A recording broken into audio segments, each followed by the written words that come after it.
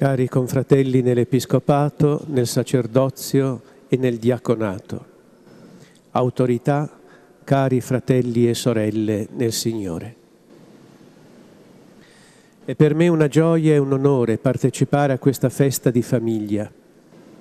La comunità cristiana di Arezzo Cortona San Sepolcro, infatti, celebra i 220 anni del miracolo legato alla piccola e antica immagine della Santa Vergine, avvenuto il 15 febbraio del 1796 durante la pestilenza che tormentava la città.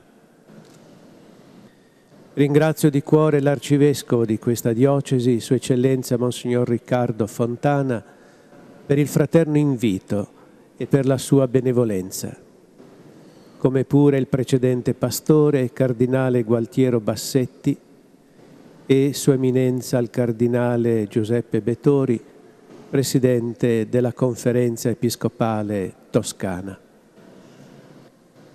Vedo i sacerdoti presenti, primi collaboratori e amici di noi vescovi, e desidero esprimere a voi e a tutto il clero italiano l'affetto grato dell'Episcopato, insieme ad una convinta parola di incoraggiamento per il vostro quotidiano essere con la gente nel nome del Signore.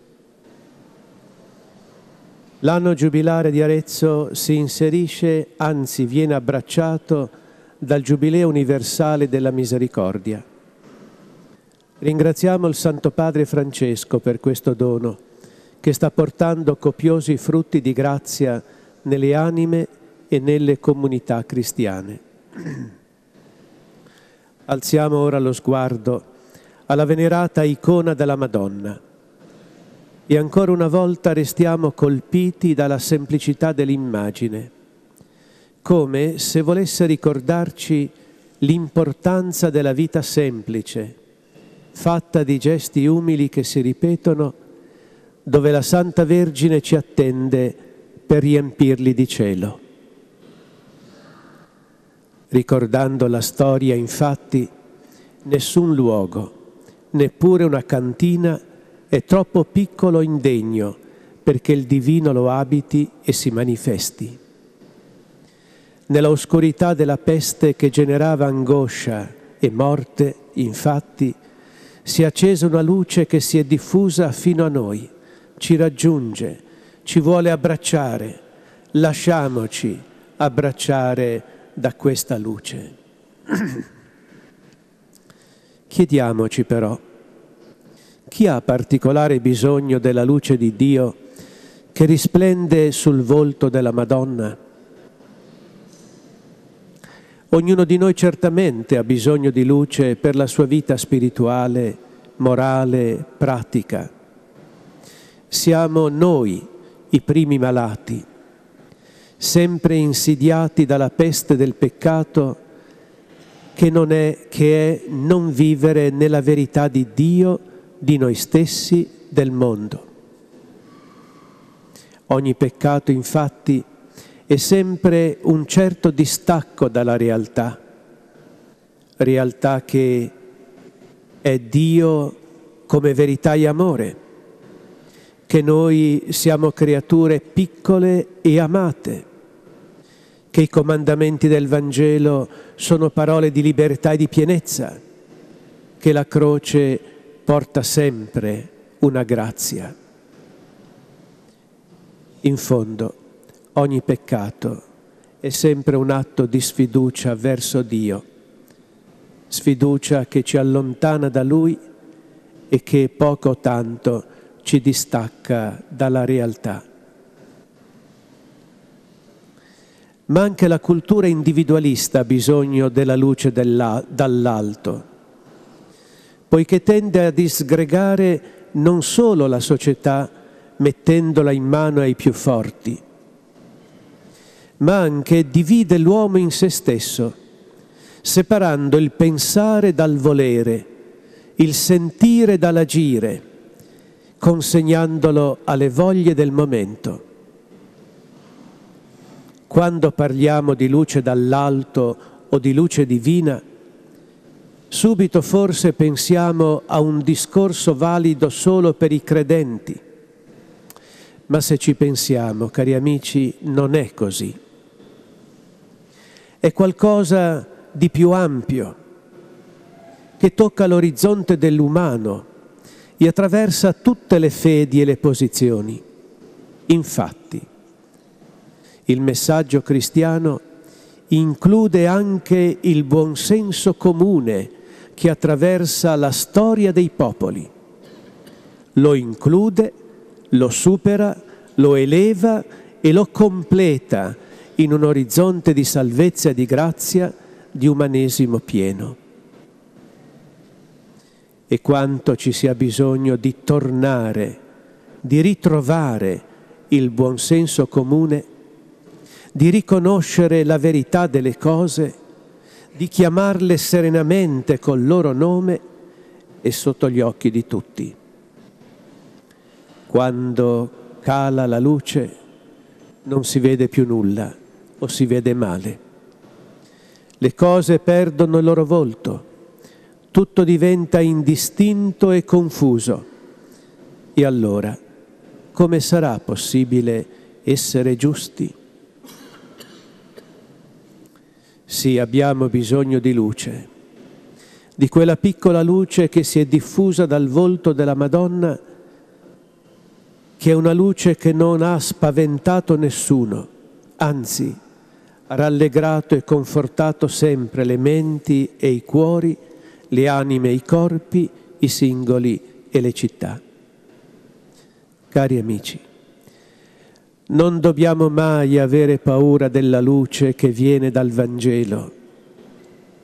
Non dobbiamo avere paura. Quella luce che viene dal Vangelo e del quale la Vergine è la prima discepola e maestra, perché madre della parola fatta carne. Non dobbiamo avere paura di essere testimoni di quella luce che si irradia umile e benefica testimoni con la vita e con le parole. Ogni parola cristiana che ha cittadinanza in mezzo a un mondo di parole altre è sempre, è sempre espressione della misericordia di Dio, atto d'amore e di servizio per il bene degli uomini, affinché il vivere insieme sia rispettoso e ordinato nella sconfinata fantasia della pietà popolare, la Madonna è stata coronata dei nomi più belli, ricolmi di poesia e di vita concreta. Madonna della guardia, della salute, della strada, del fiore, del pellegrino, degli angeli, quanti, quanti titoli. Tra questi con cenni di struggente dolcezza e di umana sapienza, vi è il titolo della Madonna del conforto. Quanto conforta il conforto di Maria. Sembra che la Chiesa, pensando alle opere di misericordia corporale e spirituale, tanto raccomandate specialmente in questo anno santo, abbia voluto la Chiesa declinare proprio il conforto che la Santa Vergine offre ad ogni persona che a lei ricorre. Dar da mangiare agli affamati, ospitare i pellegrini, visitare gli infermi e i carcerati, consigliare i dubbiosi, perdonare le offese, avere pazienza con le persone moleste e tutte le altre non sono forse opere di grande conforto. Chiunque si incrocia con lei, anche se solo incuriosito, distratto, ne resta segnato. L'incontro con una mamma, seppure casuale, breve o distratto, tocca sempre le corde del cuore, risveglia ricordi, suscita nostalgie, attiva propositi, sprigiona il desiderio di una vita migliore perché più buona. Se poi incontriamo la grande Madre di Gesù, tutto diventa grazia e pegno di futuro. La Madonna alle nozze di Cana, come abbiamo ascoltato nel Vangelo, non ha forse portato conforto e provvidenza ai giovani sposi, tutti persi nel loro amore?